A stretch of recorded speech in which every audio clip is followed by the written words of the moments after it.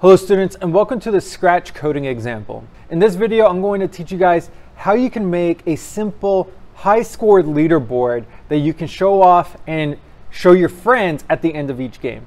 So let's get started. All right, so to kind of demonstrate, I, I have a bit of a game here. And what we do is you just got to click the heart, you know, click it, get a high score. It's gonna go for eight seconds, so you know I'm, I'm pretty good at this game. There, look at me go. All right, and that's it. The game's over. So you can see the timer hit eight. Um, my score was 11. But what if I want to see out of all my friends, who is the best one? Let's keep challenging ourselves and let's build a simple leaderboard. And as I look across YouTube, all of the videos that are there are showing you how to make this really extravagant high score leaderboard, something with global rankings and stuff. No, what we're gonna focus on is just making something simple.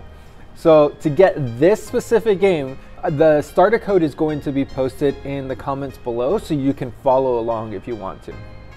So here I am in the game. Let's, let's zoom in a little bit here. All right, well, I want to create a leaderboard.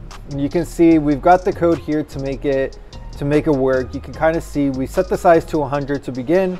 Got my timer, my score, and then I say, okay, let's start the timer. Let's start the movement of the sprite. And until the timer reaches eight, there's a timer right there, just goes until it hits eight. And there's the random position right here, just goes until randomly, but the, you can see that the size changes between negative 50 and positive 50. And over eight seconds, it doesn't really change too much.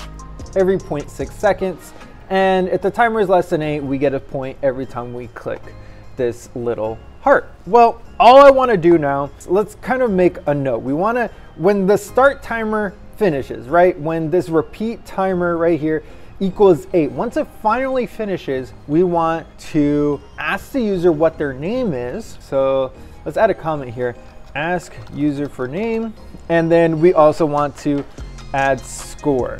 That seems pretty, pretty simple, pretty straightforward. Well, let's do that. Well, we can ask them for their name by asking, hey, what's your name? And look, Scratch has already got it. Let's just make sure that works, okay? Eight seconds. All right, and what's your name? Mr. Hernandez. There we go. All right, but of course nothing happened, right? So what we need to do is we're gonna go over here to my blocks. We're gonna make a block and this is gonna be making a red block. We're gonna make a procedure here or a function and we're gonna name this add score and we're gonna add an input. And the input is going to be the name that they put in here. So I'm gonna just throw this over here to the right and I'm going to call it here and whatever the answer is to the question, what's your name? I'm going to pass in that is going to be my argument for the function add score. So you can see over here off to the right, I have add score and you know I can drag over what was passed into it however much I need to use it for. Now as I do this there are a lot of things that we need to do for this. So I want to make a note, I'm to make a comment for all the things I need to do in this add score. So first thing is I need to take the name. All right, so we get it, we pass it in. All right, and then we are going to check where the score goes in a list. Okay, uh, so we need a list. I'm gonna put this here, need a list. Okay, because obviously we're gonna keep a leaderboard in a list. We're gonna add the name with score into the list, all right? And we are going to show the high scores when we're done. And what we're gonna do is we're gonna only make sure that we only have the top five. So it's gonna be like really fight to the death you know, who's gonna be the top five on our leaderboard. Kind of like old MySpace, you know, you only had your top eight and everyone had to fight for to be your best friend. Um, so only uh, top five allowed. All right. So I, I need a list. And what I'm going to do is I'm gonna go over here to variables. I'm gonna make a list and I'm gonna call it high score. Let me kind of just like move this around and that looks pretty good. So we need to take the name, go through our list, figure out where it goes in the list and put it in there. All right, seems pretty straightforward. So here's what I'm what I need to do is I, I need to just go through my entire list and I, all I need to do is just keep adding things to the list until it reaches five. Once it reaches five, I need to iterate through the list. If a score is higher than one of the scores in the list, I need to put it above it. Or if they're equal to, I'll put it below it. I'm pretty sure the code will kind of handle itself there. So we're going to repeat until the score is greater than one of the scores in the list. Now there is a small problem here because this high score list is gonna show the name and the scores. So it's gonna be really hard to kind of read. So what I'm gonna do is I'm going to make a list. I'm going to call it high score helper. All right. Um, and this is going to help me create the scores. Basically, this is only going to hold the scores, whereas my high score, the one that's going to show at the end of our game, is going to actually have the name with the score on there for the top five again. Okay. So I'm going to come over here real quick because I'm already thinking that when the game starts, we need to hide the high score list. I think that's the only thing we need to change there. So now let's actually go through here. As I'm also thinking about it, we need to capture the space where we're going to be adding in our high score. So I'm gonna make a variable and you could name this counter. Your teachers might do it differently. A very common counter variable is I, C, N, J. I think in my case, I'm gonna call it a count. I'm gonna call it a score position. Okay, I don't really care to see it right now unless we'll, we'll look at it, you know, I'll show it if there's an error and I need to take a look at it. But we're gonna be adding the score here. So as I get into this, I'm gonna set the score position to one. Remember, lists in Scratch always start at one. If this were something like in Python or Java, we would start it with index zero. And now we're gonna do a repeat until. Let me grab that, put it in there. And as I said, we're gonna repeat until I, or until the score position that we have is going to be greater than the list item that's in there. We do need to break out of this though. So we also need to check it to see the score position. What we'll do is uh, while we're in this score position, uh, in this repeat until, we're going to change the score position by one because it's going to keep increasing. And then if it hits six or if it's greater than one of the items in the list, then we're going to break out of our, our loop and that is going to be the value that we're going to put in to uh, the new high score list. I said that's gonna be an or, right? Because there are two things. Either the score is greater than one of the items in the list, or it's not greater than one of the items in the list, and it's beyond the list. It's gonna hit position six in the list. So we're gonna say uh, score is a global variable. So um, we'll do greater than. So if score, if the score that they get here is greater than one of the items in the list, item number, not item number, item one of score list. So it's going to go item one, it's going to check it. If it is greater than this, is it greater than item two, is it greater than item three, four, five. And this is going to be in the helper list because remember, this one is only going to hold the scores. So what we're going to do is repeat until score greater than item one of high score helper, we're gonna go item score position because that's the one that is going to always be changing. Or we're gonna check to see if the score position is equal to six. So let me grab the equal to because this means it's at the end of the list. So if it's equal to the end of the list, and check to see if it is equal to list. Let me just duplicate that, drop it right in there. Okay. So basically, again, Check to see if this score that the person got is greater than one of the items in the high score list, add them onto that position. Otherwise, we're not gonna add them on. So then what we need to do now is if this is six, we're not gonna put this in. So we need to check to see if it's not six, so we can put it in.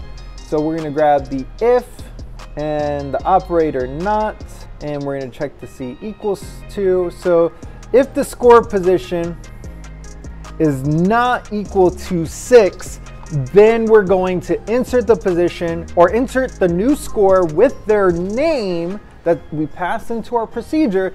We're to put it into the high score list. First thing we need to do is put it into the helper or else we'll never be able to compare anything here. So we're to insert our score.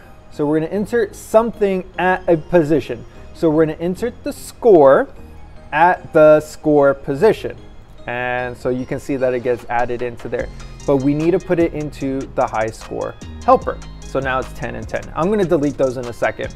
But then I also need to insert, we're gonna need the score and the score position uh, uh just in a second. But when we do this, we're gonna do a join because we're gonna put in the name of the person. We're gonna need two joins. Uh, so now we can grab the name. We're gonna put in whatever name that they put in and we're gonna put in like something to show, so like space, dash, space, and then their score. So it's gonna look up their name, dash, score. Kind of something like you see in an old video game. Now, as we insert things, the list can actually grow beyond five because we, we insert something there and it, you can see like, okay, we're gonna keep inserting, insert. You can see that the list is growing beyond five. All right, uh, and we also need to make sure that this goes into high score. Whoops. There we go. Because I was like, why is there two things? Go ahead, go ahead. Oh, there's no name passed in here, that's why. But now we'll be able to delete item six. I'm gonna need to pull those in a second.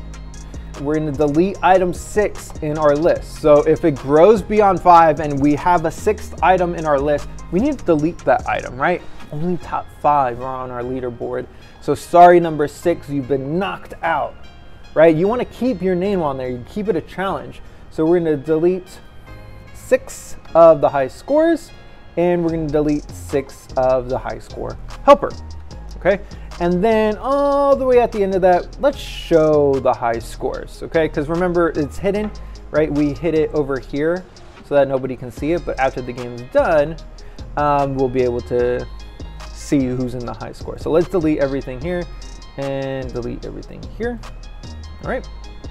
And let's check to see if this works. Let me actually hide the high score helper before we do that. And the high score list, okay. So let's play our game, boop, boop, boop. All right, one, two, three, four, five, six, seven, eight. Well, let's kind of just let the time run out. All right, what's your name? Mr. Hernandez. All right, so Mr. Hernandez is on our high score with the score of eight. So let's play it again. Let's do a score that's less than eight. Okay. Okay. Uh, oh no, that that is tiny. Oh, I'm I'm really trying here. All right, three. Uh, so what's your name, Mr. Hernandez? Two. Number two. And you can see that Mr. Hernandez number two. Uh, there it is, full screen. Mr. Hernandez, number two, only has a score of three. So as, as people are coming and playing our game, you can see that, all right, no matter what, they're always going to have, uh, it's always gonna populate. Let's make sure it populates all the way to five. So let's see if we can get a score bigger than eight. Oh, at me go. 12, 13, 14, 15. What's your name? So this is going to be Mr. Hernandez number three and with the score of 19. Uh, right, and Mr. Hernandez, number three, got the best score so far, so he should be at the top of the leaderboard. All right, let's add in a couple more. What's your name? So 12, that's going to be, should be number two, I think. So Mr. Hernandez, number four. Okay, Mr. Hernandez, number four in second place. This is working out very well. Let's code this one. And. The positioning seems to be working out pretty good. So this is Mr. Hernandez, uh, number four, I think. Oh yeah, number four. Um, you can see that it fell in between um, eight and three. So now let's see if we do something that's less than three. So I'm just gonna run the game. Maybe I'll get one. And we're gonna just let this run out because this person's name should not show up in our leaderboard. Don't show. That's to be the name I put in. And look, it only stays top five. So now let's score uh, something higher than three, push out Mr. Hernandez number two, push him down to number six, delete it, and uh, again, push somebody out of the leaderboard. Let's see how that goes. All right, and so score five, let's let the time run out.